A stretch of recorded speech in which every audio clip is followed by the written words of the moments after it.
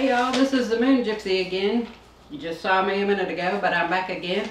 And I wanted to talk to you a little bit about your ancestors and doing your family history, your genealogy, your family tree, whatever it is you want to call it.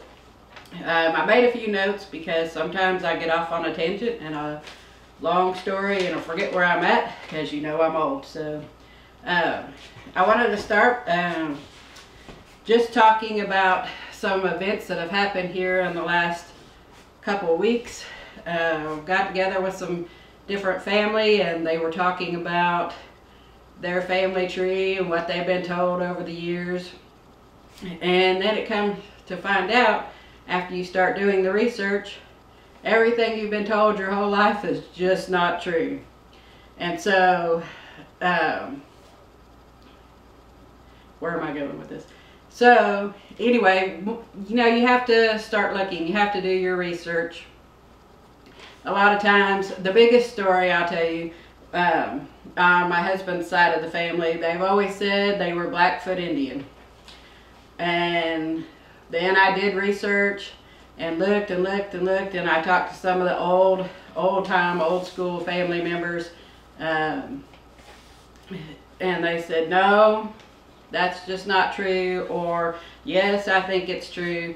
And so we go back looking and we look in the archives and we go back and get birth certificates and we go back and uh, look at the census records and all of those things and we come to find out that it's not true at all. Uh, another thing that happens in families, they'll say, oh, I'm three quarter Native American or I'm 100% Native American, but then you come to find out that one of their parents was Caucasian and one of the parents was one-fourth Native American. So you cannot be 85 or 100% Native American if that's how your bloodline uh, comes about. Those are things to think about. And we don't think about them because we hear our parents tell the stories and we hear our grandparents tell the stories um, and then we pass them down through generation to generation. And then people wonder what happened. So that's one thing to think about. Um, go do those records. Go look in uh, the archives. Ancestry.com has a lot of information. You can pull up a lot of census records. And no, I'm not affiliated with them. That's just something that I use myself.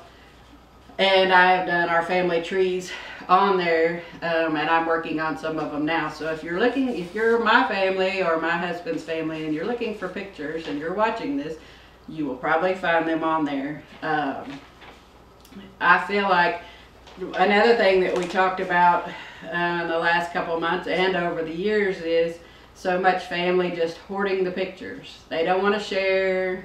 I don't want to share with you. I don't want to give you this. But what happens is so many people die out and those pictures are just sitting in boxes and everybody loses out. The generations and generations to come lose out because we don't share um, and we get greedy sometimes. So I've always shared my pictures. Um, whether I like you or you like me, I don't care. It's the family history and they belong to everybody, so I always share. And I hope if families watching this that they will start sharing. If you are like that way in your family, that you'll think about what I'm saying and you'll start to share yours because eventually we all die. And then with us all dies that history as well and nobody benefits from that. So, um, if you can, find a place to make a tree, family tree, and start sharing those things. So, let me look at my notes here and see what else I wanted to tell you about. Uh, oh, that's what I was going to tell you about. On my side, that was my husband's side of the family I was telling you about a minute ago. So then on my side of the family, the story has always been that my great-great-grandmother was full-blooded Cherokee. Well, then we started looking into the story and then it changed. She wasn't Cherokee, she was Choctaw. So then we continue to look for the records and continue to look for the records and everybody's asking and they're wanting to know the story. And so yesterday as I was doing family history, uh, the story goes back, she could not have been 100% full blood um, Choctaw because that's what well they said Cherokee to start out with, but then this what we find out is she was Choctaw or her bloodline was Choctaw, and it was the story was she was full blooded Choctaw. That's not true. now down the line, her mother was full blood. Well, let's see. It goes back down to so by the time it got to her, there wasn't really any percent left in it. So several generations back, the mother was Choctaw.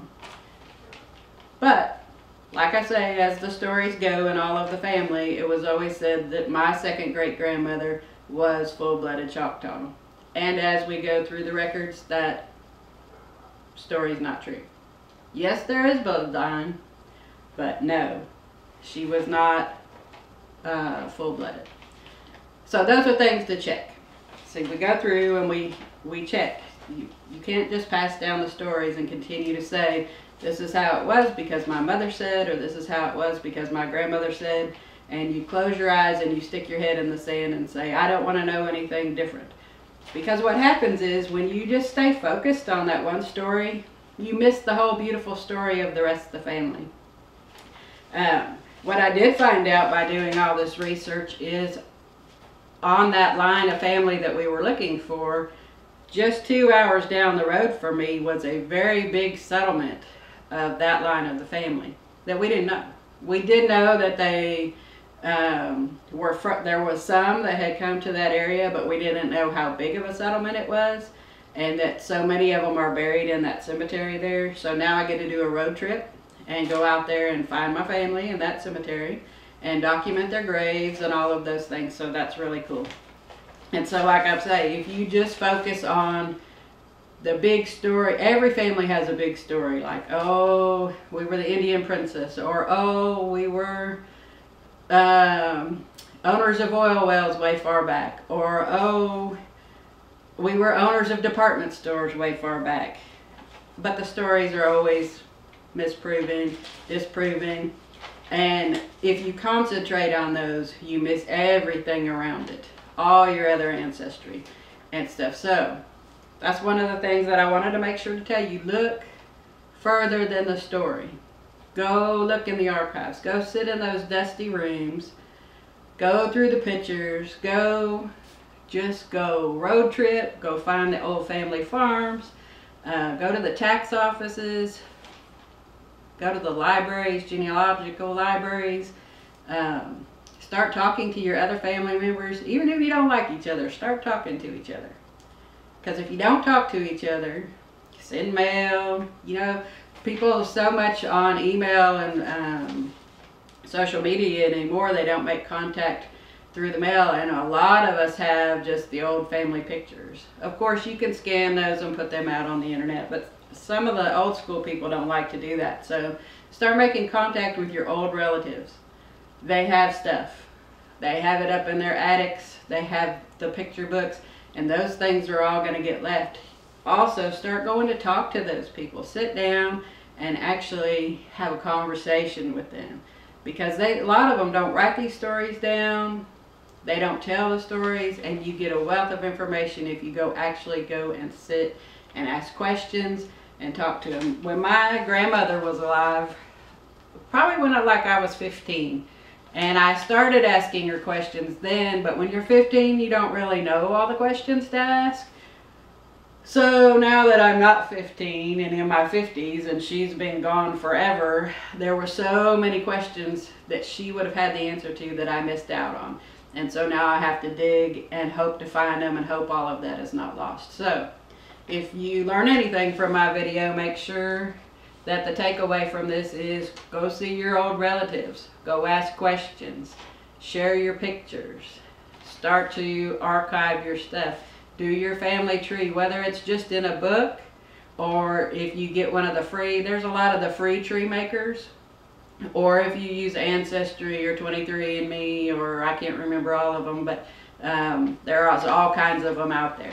And like I say, I'm not affiliated with any of them. I just really advocate, really an advocate for doing your family history uh, and sharing that uh, knowledge because you know how we say our ancestors are always there with us. They walk with us, they help us. And if you don't know who your ancestors are, who are you going to call on? Who's going to be there for you and stuff. So that's one thing to know. Um, I hope some of this information was good. If you have any questions or comments, make sure to leave them below. Make sure to like, subscribe, um, send me a message. Um, let's have a conversation. Tell me how you do your family history. What have you learned? Also, I was going to tell you before I end this video, uh, 2018 is almost here. And so in 2018, I will be road tripping everywhere.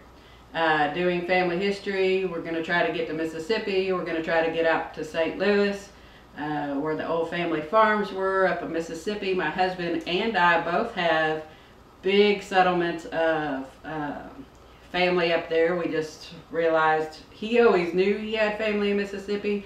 I never knew that I did. Um, we both have big settlements of them up there.